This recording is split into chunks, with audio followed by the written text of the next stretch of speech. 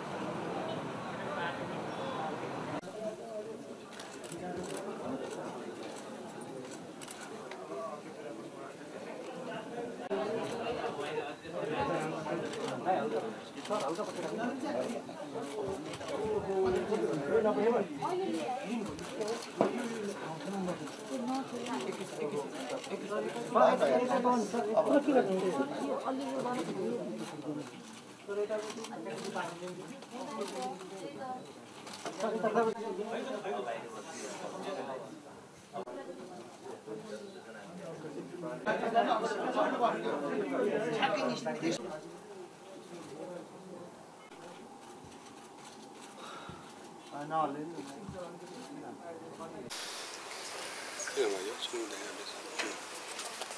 पत्रकार सञ्चारकर्मी मित्रहरू यहाँहरूको जिज्ञासा समसामयिक हो समसामयिक छ भन्ने मलाई लाग- लागेको छ अब यहाँ जुन चुनौतीका बिच मेरो भर्खरै पदस्थापना भएको छ भन्नुभएको छ चुनौती त हरेक क्षणमा हरेक पलमा न्यायकर्मीलाई भइ नै रहन्छ जस्तो मलाई अनुभूति भइरहेको छ। जुन यहाँको जिज्ञासा थियो कि प्रमुख रूपमा न्यायाधीश नियुक्तिको कुराहरू छन् हामीलाई लागेको छ हामीलाई अनुभव भएको छ कि जिल्लादेखि सर्वोच्च अदालतका न्यायाधीशहरूको नियुक्ति हामीले अविलम्ब थाल्नुपर्ने जरुरी छ। जनशक्तिको अभावमा न्यायाधीशको जन अभावमा निश्चय नै न्याय पाउनलाई ढिलो छिटो छरितो त नहुने स्वाभाविक कुरा हो। त्यसैले यहाँहरूको जिज्ञासालाई मैले सकारात्मकमा लिएको छु र यहाँहरूलाई म विश्वास दिलाउन चाहन्छु म सायद न्याय नियुक्तिको प्रक्रिया छिटोभन्दा छिटो अर्थात् म एक किसिमले भोलिदेखि नै औपचारिक अनौपचारिक रूपमा म प्रक्रिया थाल्ने र यसमा एउटा नतिजा निकाल्न सक्ने कार्यमा म लागिरहनेछु लाग्दछु। म यहाँलाई आश्वस्त हुन अनुरोध गर्दछु। अब न्यायाधीशको नियुक्ति सम्बन्धी प्रक्रियाहरूलाई हामीले यो या त्यो बाहनामा कसैले पनि ढिलो गर्नु उपयुक्त हुँदै हुँदैन। चाँडो यसको निर्णय हुनु जरुरी छ। म न्याय परिषदको अध्यक्ष भएको नाताले पनि अझ मेरो काँधमा यसको जिम्मेवारी बढिरहने भएकोले मैले नै यसमा विशेष पहल गर्नुपर्ने विशेष छलफल गर्नुपर्ने सबैलाई समन्वय र ल्याएर एक ठाउँमा ल्याउनु पर्ने र सबैको सहमति कामलाई अनि बल्ल निरूपणको विषय हुन सक्ने जस्ताहरू कार्य मैले प्रारम्भ गरिहाल्नेछु। त्यस कारण यति मैले न्यायको नियुक्तिहरूमा भने। अब यहाँहरूको चाहिने जुन हलालमा रहेका ब्याकलगका कुराहरू गर्नुभएको छ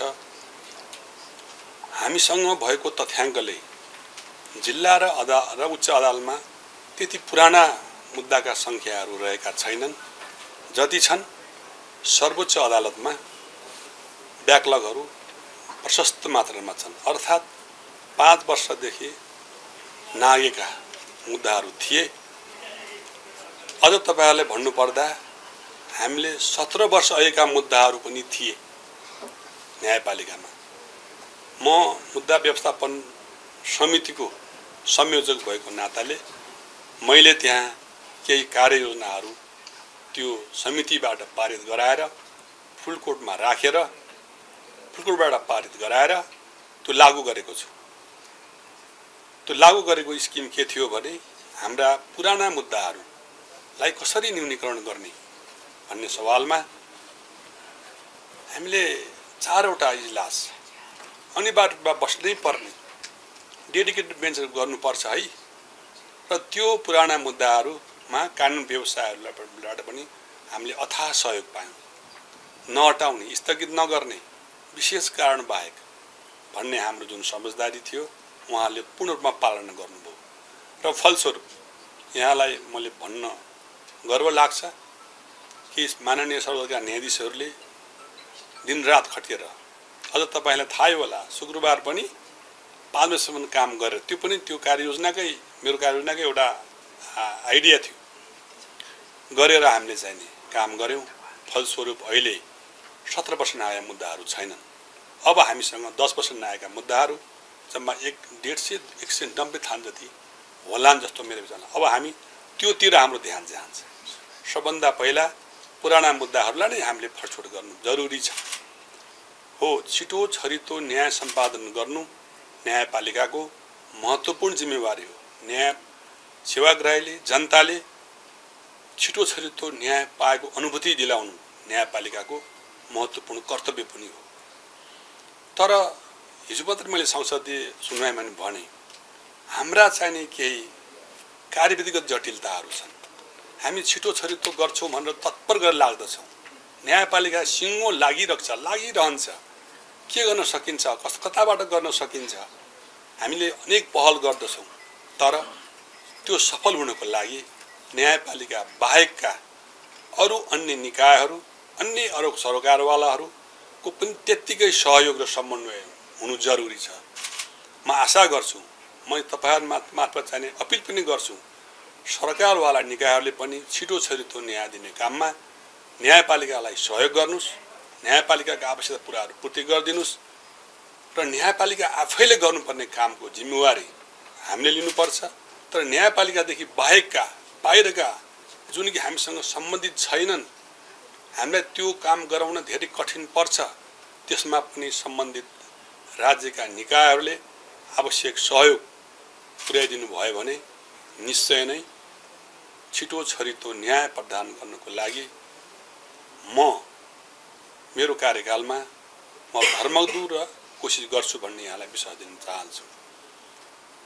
म अहिले जुन अवस्थामा प्रधान न्यायाधीशमा आइपुगेँ मलाई के अनुभव छ भने म अधिकृत रूपमा प्रवेश गरेको हुँ।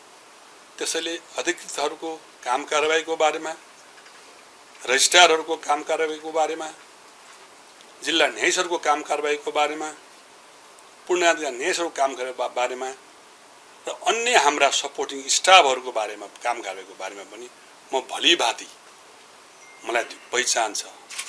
त्यो त्यस बखत मैले त्यो स्थानमा रहेर काम गरेको मलाई अनुभव छ। त्यो अनुभवको आधारमा यहाँ विश्वास दिन चाहन्छु मेरो कार्यकालमा हाम्रा सम्पूर्ण कर्मचारी साथीहरूले हाम्रा सम्पूर्ण मान्य न्यायसीहरूले हामी एकजुट भएर एउटा मिसनमा अगाडि बढ्छौँ। र यो हाम्रो हातमा रहेको सपोर्टिङ सिस्टमहरू तपाईँलाई थाहै छ। न्यायपालिकामा आवश्यक पर्ने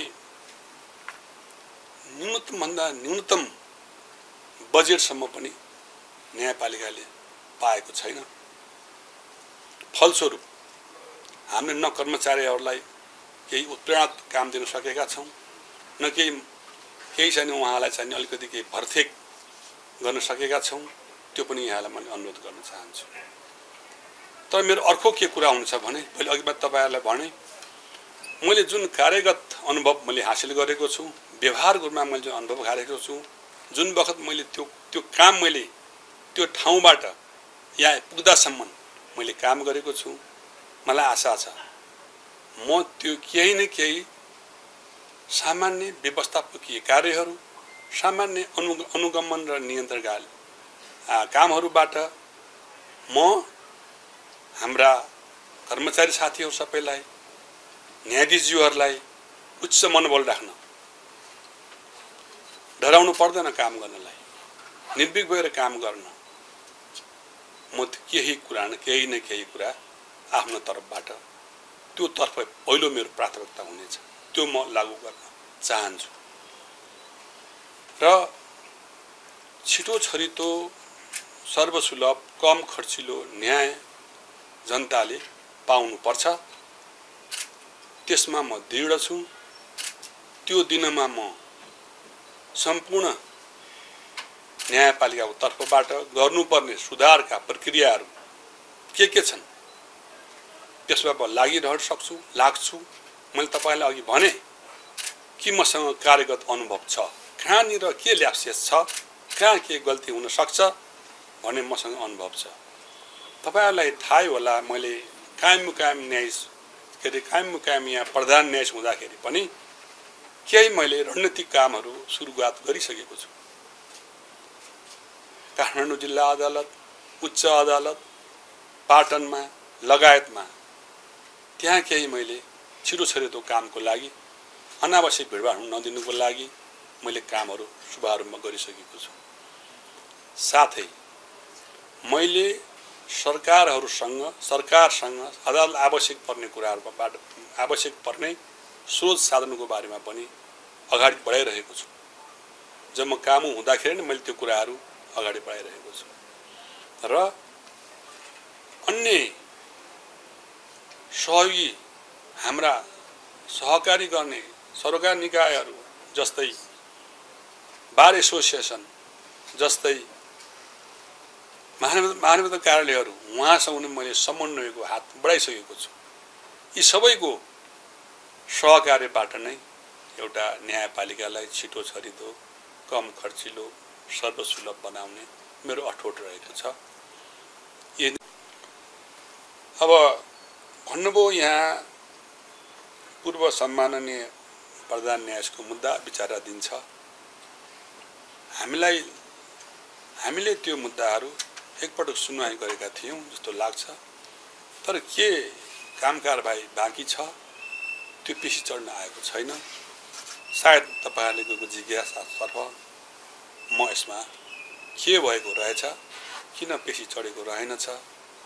मलाई चाहिँ नि म केही न केही यसबारेमा आफ्ना कर्मचारीहरूलाई निर्देशन दिनेछु। मुख्य रूपमा यो जुन मुद्दाहरू पुराना रहेका छन्। ती मुद्दाहरूलाई फर्चोट गर्ने मैले नीति लिएर त्यसलाई अवलम्बन गर्ने मेरो उद्देश्य पनि त्यही हुनेछ। फर्चोट गर्न सिलसिलामा यहाँलाई म विश्वास दिलाउन चाहन्छु। हामीसँग भएका स्रोत साधन र अनुभव प्रचुर मात्रामा छ। त्यो सकिन्छ जस्तो मलाई लाग्दछ। यो पुराना मुद्दा अहिले मात्र रहेका होइनन्। विगतका। तपाईँलाई भने दस वर्षदेखि मुद्दा रहनु पर्थ्यो सर्वोच्च हालमा रहनु पर्थेन होला नि। किन रहे? पुराना मुद्दाहरू किन बाँकी रह्यो होला?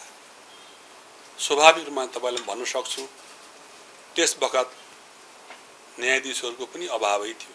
जब पाँचजना न्यायाधीशहरू रहेर काम गर्नुपर्ने स्थिति आइलाग्यो। त्यो बखतका मुद्दाहरू अहिलेसम्म बाँकी छन्। कोभिड अर्को प्रकोप हामीले कामै गर्न सकेनौँ। गत वर्षमा अर्को सालमा। त्यसैले यी अनेक कारणले गर्दाखेरि अलिक ढिलो पुराना मुद्दाहरू बाँकी रहेको जस्तो मलाई लाग्दछ सर्वोच्च अदालतमा। तर जिल्ला र उच्च अदालतमा यहाँले भनेको जस्तो होला काठमाडौँ जिल्ला हलमा अलिकति प्रेसर छ। अब मैले चाहिने त्यहाँ पनि अगाडि बढाउनलाई निर्देशन दिइसकेको छु।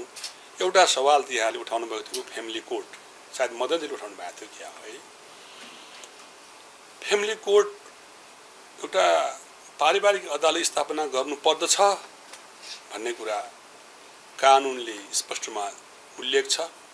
त्यो पारिवारिक अदालत सम्बन्धी कुराहरू फास्ट ट्र्याकमा गर्नुपर्ने निर्णय अदालतले गर्नुपर्ने काम कारबाहीहरूको बारेमा सर्वोच्च अदालतमा पटक पटक निर्णय भएर सरकार समक्ष अनुरोध पनि गर्दै आएको हो। तर त्यो कार्यान्वयन हुन सकेन। अब बालबालिका सम्बन्धी ऐनमा केही सुधारहरू गर्नुपर्ने स्थिति छ त्यसको लागि। त्यो हामीले सुधारमा होइन। त्योमा हामीले अध्ययन गरेर सायद पठाइसकेका छौँ होइन? पठाइसकेका छौँ। त्यो संशोधन भएर अब नेपाल सरकारको जिम्मामा कानुन मन्त्रालयमा त्यो पुगेको छ। सायद उहाँहरूले बाल यो पारिवारिक अदालत गठन गरिदिने हो भने त्यसले केही सहजीकरण गर्ला। तर म त्यतिले चुप लाग्नेवाला छैन। मैले हिजो मात्रै पनि सुनवाई समितिमा भनेको छु म सायद एक महिना या दुई कति समय लाग्छ बिस पच्चिस दिन तर त्यहाँ पेसीको व्यवस्थापन अलिक समस्या हुन्छ तारिक लगेर गइसक्यो हुन्छ पेसीको देखाउन चाहिने गर्न सकिन्छ कि सकिँदैन म सल्लाह गर्छु। म न्यायाधीशहरूलाई बोलाउँछु जिल्ला अदालतबाट। सकभर सकभर छिटो कमसेकम दुईजना डेडिकेटेड न्यायाधीशले पारिवारिक अदालतका मुद्दा हेरिदिने काठमाडौँ जिल्लामा त्यो अदालत गठित नभए पनि जसरी हामीले अभियान रूपमा यहाँ चलाएको छौँ पुरानो मुद्दा हेर्ने गरेर त्यस्तै महिला महिलावादी भएका बालबालिकावादी भएका अंश मुद्दा त्यस्तै असहाय पीडितवालाहरूको मुद्दाहरू हेरिदिने चाँडो किन गरिदिने तिनीलाई नि शुल्क कानुनी शुल्क नलिने उपायहरू म खोज्दैछु।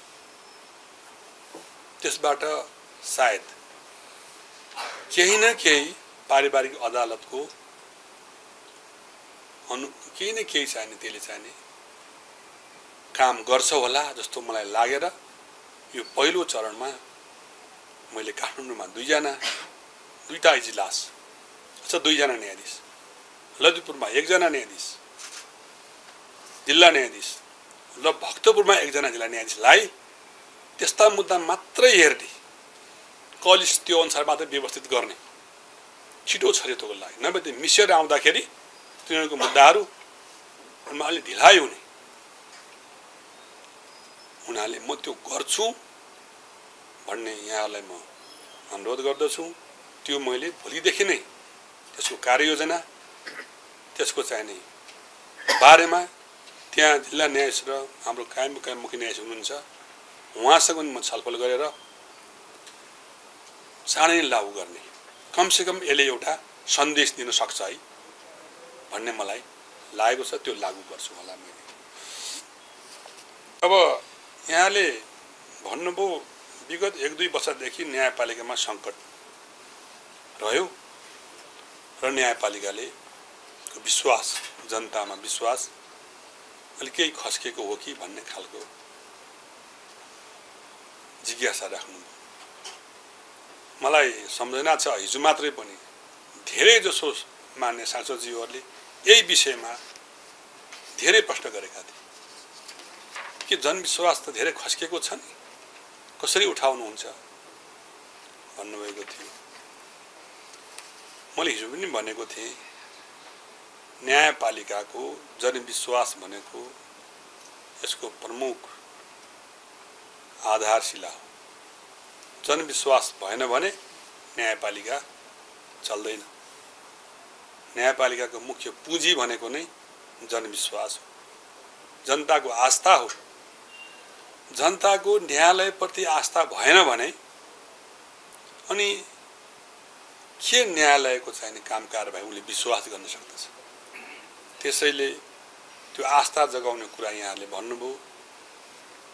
केही कुनै बेला कुनै अवसरमा कुनै बखत केही घटनाहरू भए होलान् त्यो घटनाको छाप जनतामा समाजमा परिरहन्छ।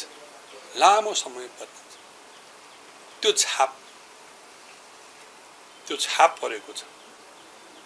त्यो जनमानसमा त्यो छाप मेटाउन त्यो छापलाई चाहिँ नि हटाउन हामीले परिणामबाट काम देखाउनु पर्ने। न्यायपालिकाले कामैबाट देखाउनु पर्छ। त्यसकारण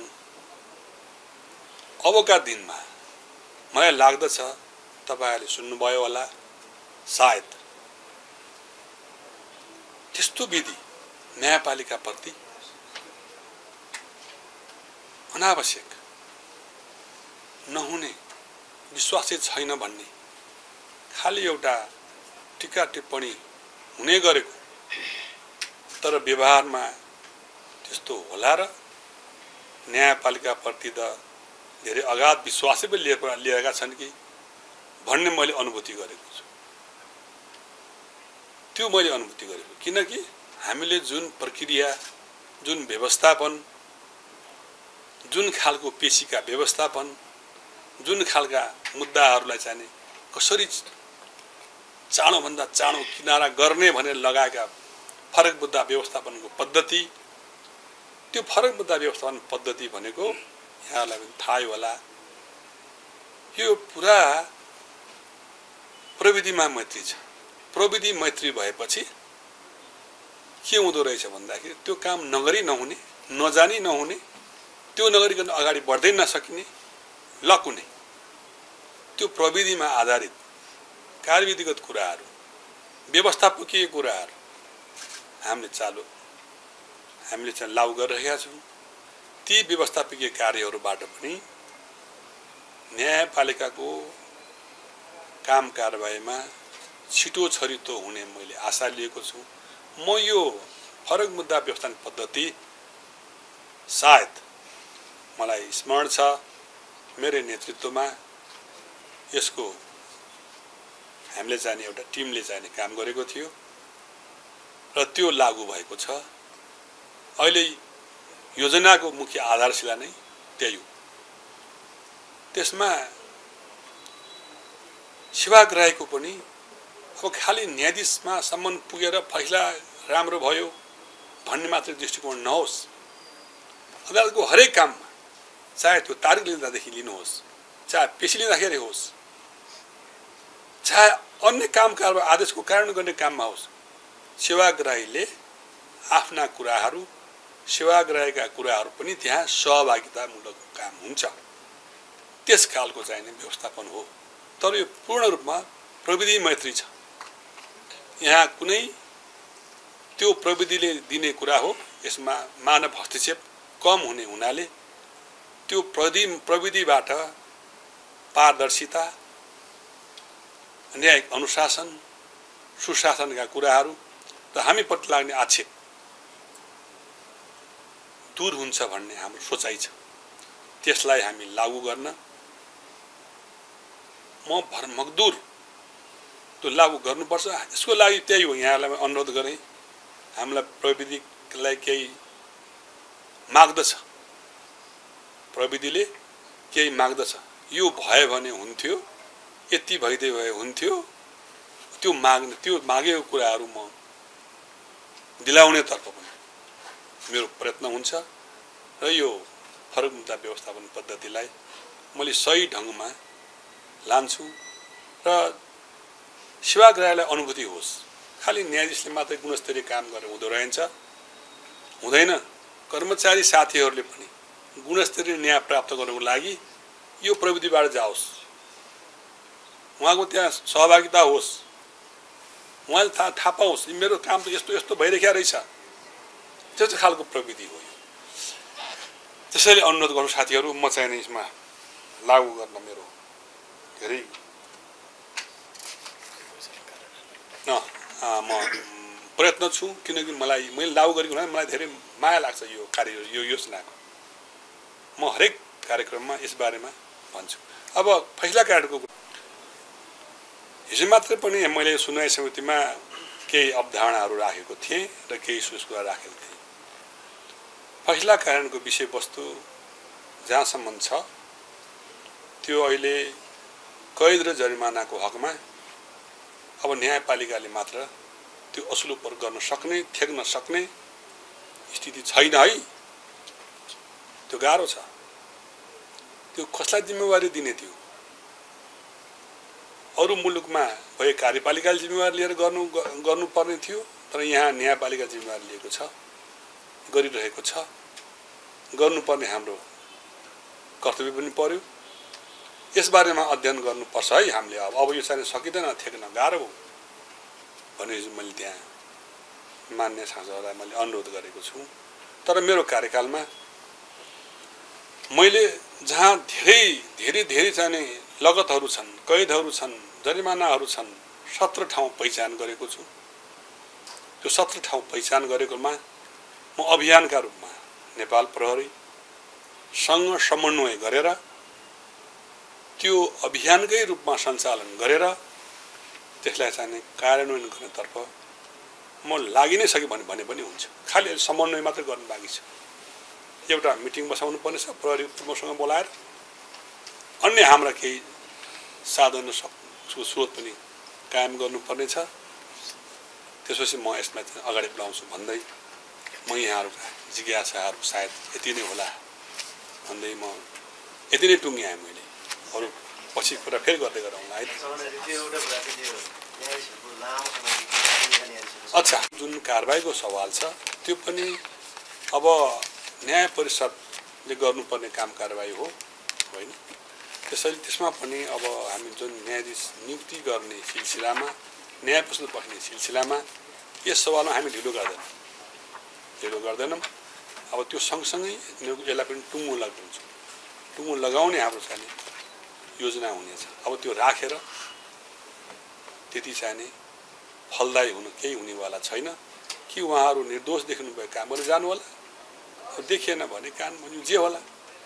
यसमा पनि हामी अगाडि बढ्छौँ। यहाँले यति म निवेदन त्यो होइन त्यो होइन। त्यो त्यसले आर्थिक वर्ष परिवर्तनले त्यो कुनै त्यो गर्छ जस्तो मलाई त लाग्दैन होला। है तैपनि म हेर्छु। अब नियुक्ति सम्बन्धी के कसो हुने हो कसरी जाने कसरी पनि म एक्लैले गऱ्यो भने हुँदैन। त्यहाँ पाँचजना साथीहरूको समग्रमा हुन्छ। उहाँहरूको पनि सुझबुझ र उहाँको सरसल्लाहबाट गर्ने कुरा होला होइन? त्यसैले तपाईँले चाहिँ त्यो आर्थिक वर्ष पनि सिधिहाल्यो भन्दा कसो होला? छैन बाँकी छ भन्दा अलिक कसो होला? बताइदिन्छु है त? त्यहाँ यति कुरा म निवेदन गरेँ है त? ल थ्याङ्क यू भेरी मच ल है त?